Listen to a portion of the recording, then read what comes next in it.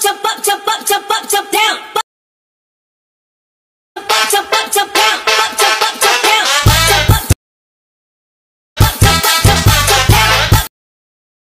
Halo guys, welcome back to my channel. Oke guys, langsung aja kita mulai ke tutorialnya.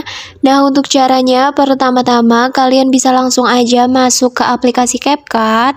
Habis itu kalian klik lagi proyek baru. Nah di sini kemudian kalian bisa masukkan dua buah foto kalian. Nah di sini aku menggunakan fotonya Kak Nakita. Langsung aja kita bisa masukkan satu buah fotonya dulu lalu klik tambah. Nah, setelah kalian klik tambah, kalian bisa geser aja menu yang ada di bagian bawah, pilih format, dan pilih yang 9 banding 16. Lalu kalian klik aja fotonya, terus kalian zoom supaya sesuai dengan format. Kalau udah, kalian bisa klik animasi, pilih yang masuk, dan pilih animasinya itu yang goyang secara horizontal. Nah, dia tuh ada di bagian akhir gitu ya, guys. Kalau udah fullin durasinya, habis itu kalian bisa klik checklist dan kalian ekspor videonya. Nah, kemudian kalau udah kalian ekspor, kalian bisa kembali atau kalian klik icon yang ada di pojok kiri atas. Kemudian kalian bisa klik aja icon tambah yang ada di samping fotonya ini. Lalu kalian bisa masukkan foto kedua kalian dan kalian bisa klik tambah. Nah, di sini untuk foto pertama tadi yang ada animasi kita bisa hapus dulu. Habis itu di sini kalian klik aja foto yang barusan kalian tambahkan. Habis itu kalian zoom supaya sesuai dengan format. Kalau udah kalian bisa klik animasi, pilih yang masuk lagi, habis itu pilih goyang secara vertikal di sampingnya goyang secara horizontal tadi ya guys. Kalau udah kalian bisa fullin durasinya. Habis itu kalian bisa klik checklist dan kalian ekspor videonya. Nah, kalau udah kalian bisa klik aja selesai, habis itu kalian klik lagi proyek baru. Nah, setelah kalian klik proyek baru, untuk langkah selanjutnya, kalian bisa masukkan video mentahan awalannya yang kurang lebih itu seperti ini. Ini udah ada lagunya juga ya, guys. Nah, di sini kita bisa tandai aja uh, video mentahannya. Abis itu untuk langkah selanjutnya kalian juga tandai foto pertama yang kita ekspor tadi yang ada animasi goyang secara horizontal. Lalu kalian juga bisa masukkan foto yang ada animasi goyang secara vertikal ya guys. Nah jadi totalnya itu ada tiga. Kalau udah kalian bisa klik aja tambah. Lalu untuk langkah selanjutnya kalian bisa klik bisukan audio klipnya dulu aja. Nah, terus untuk langkah selanjutnya di sini kalian bisa uh, perkecil aja video mentahannya ini. Perkecil durasinya jadi 6.8s.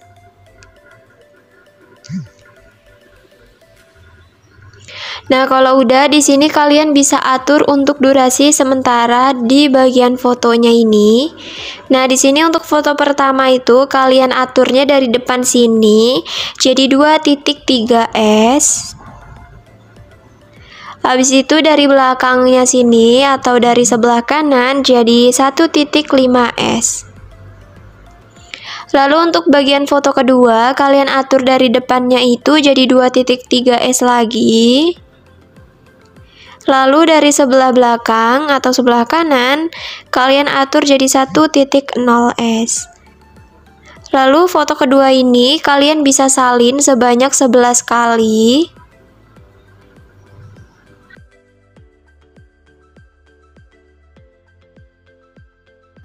Nah, untuk langkah selanjutnya, kalian bisa kembali ke bagian foto pertama yang ini. Lalu di sini di bagian foto pertama, kalian bisa salin. Lalu salinannya kalian letakkan beri jarak 4 buah foto ya. 1 2 3 4. Nah, di sini Nah, kalian bisa lakuin sampai akhir ya, guys. Yang penting diberi jarak 4 buah foto. Nah, jadi totalnya itu ada uh, tiga kali salinan. Kalau udah di sini untuk langkah selanjutnya kita bisa atur untuk durasi keseluruhan fotonya. Kita aturnya dari sebelah kanan sini ya. Dari sini. Nah, di sini untuk foto pertama itu kalian perbesar gitu biar fotonya memanjang. Nah, terus di sini kita atur foto pertama jadi 0.4s. Lalu di bagian foto kedua itu jadi 0.2s.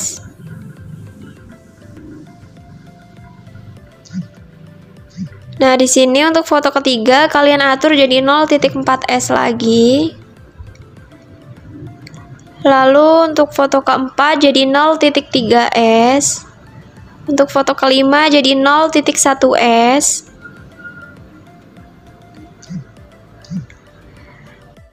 Lalu di sini untuk foto ke-6 sampai foto yang terakhir aku bakal sertakan uh, durasinya di samping video ini ya guys. Jadi di sini aku bakal percepat aja.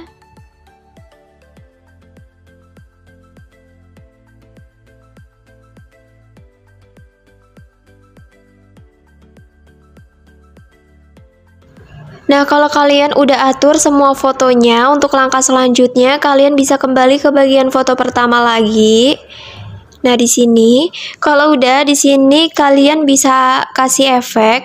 Kalian klik aja efek yang ada di samping overlay, lalu pilih yang efek video. Lalu di sini kalian geser aja, pilih yang pesta.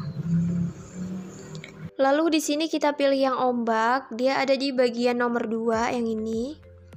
Kalau udah kalian bisa klik aja checklist. Kemudian di sini untuk durasinya eh, kalian sesuaiin aja dengan durasi foto pertama. Nah, ini ya. Terus di sini kalian bisa salin efeknya. Lalu kalian lompati 4 buah foto seperti tadi dengan 1 2 3 4. Nah, dia di bagian yang tuh 2 3 4 yang ini. Nah, kalau kepanjangan kalian bisa perkecil aja durasinya. Lalu kalian bisa salin lagi, terus kalian uh, selingi 4 buah foto.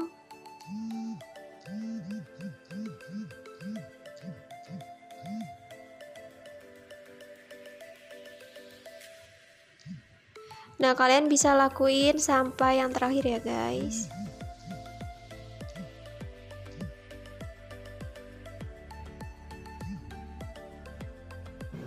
Nah, untuk langkah selanjutnya kalian bisa kembali lagi ke bagian foto pertama yang ini dan di sini kita bisa masukkan overlay. Klik overlay, pilih tambahkan overlay, pilih yang stok video dan pilih yang putih polos. Lalu kalian bisa klik aja tambah. Nah, di sini overlaynya kalian perbesar sampai menutupi bagian foto. Lalu di sini kalian bisa kecilin dulu durasinya. Jadi 0.2s aja. Terus kalian bisa klik gabungkan, pilih yang overlay, lalu kalian bisa klik checklist, pilih animasi, pilih yang keluar, dan pilih animasi yang nomor 3 atau yang pudar keluar. Lalu di sini kalian bisa salin aja, terus kalian letakkan di setiap awalan foto. Nah kalau kepanjangan gini kalian bisa perkecil aja. Misalkan gini nih mepet dia, dia agak diperkecil aja sedikit. Nah, pokoknya kalian lakuin sampai fotonya habis ya guys.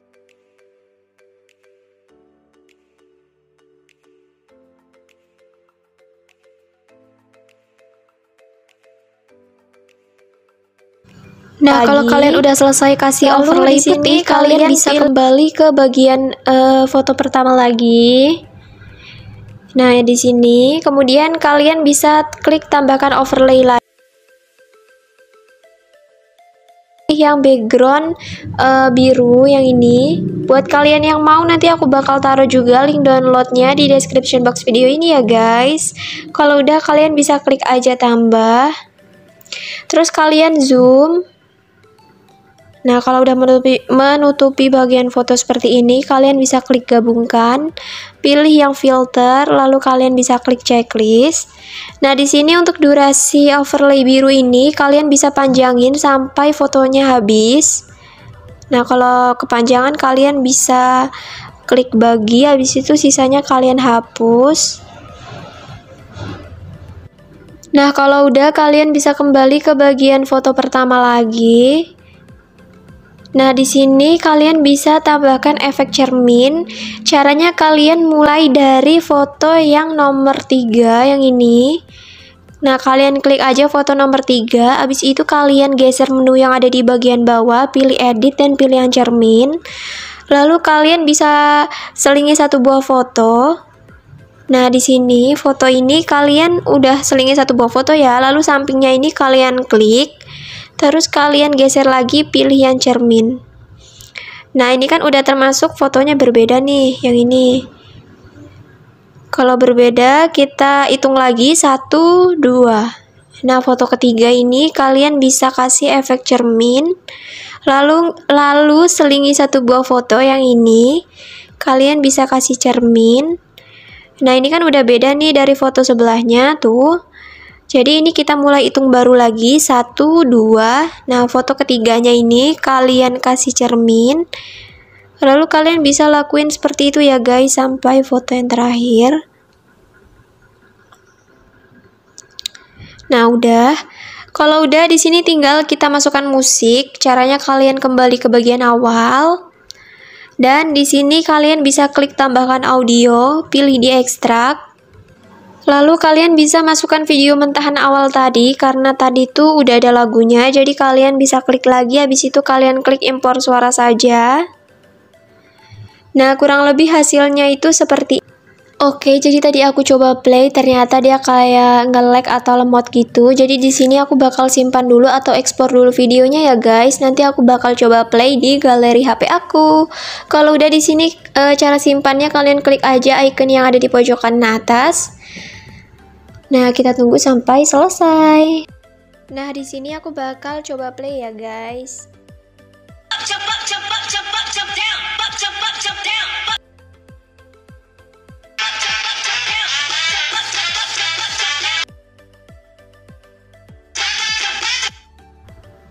Nah, kurang lebih seperti itu. Kalau kalian suka dengan video ini, jangan lupa untuk klik like, komen, dan juga subscribe channel YouTube aku ini, supaya channel ini semakin berkembang dan maju. Dan terima kasih untuk kalian yang sudah menonton, and see you next my video. Bye-bye!